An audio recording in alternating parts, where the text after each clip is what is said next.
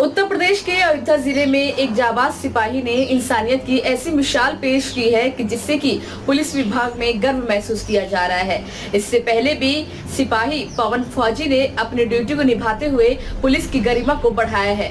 क्या है पूरा मामला? देखिए। उत्तर प्रदेश के अयोध्या ज़िले में एक जाबाज सिपाही ने इंसानियत की मिसाल पेश करते हुए पुलिस विभाग को भी गर्व महसूस करवा रहे हैं। आपको बता दें, सिपाही पवन पहले इंडियन आर्मी में थे। आर्मी से रिटायर होने के बाद एक बार फिर देश की सेवा में पुलिस बल को चुना। उनके इस कार्यों की वजह से कई बार प्रशंसा मिल चुकी है।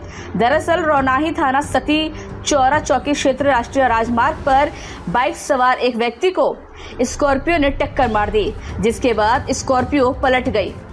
घटना की सूचना पाकर पुलिस कर्मी पवन कुमार फौजी सहयोगियों के साथ पहुंचकर कार में सवार तीन लोगों सहित तीन महीने की बच्ची को बाहर निकालकर गंभीर रूप से अस्पताल भेजा।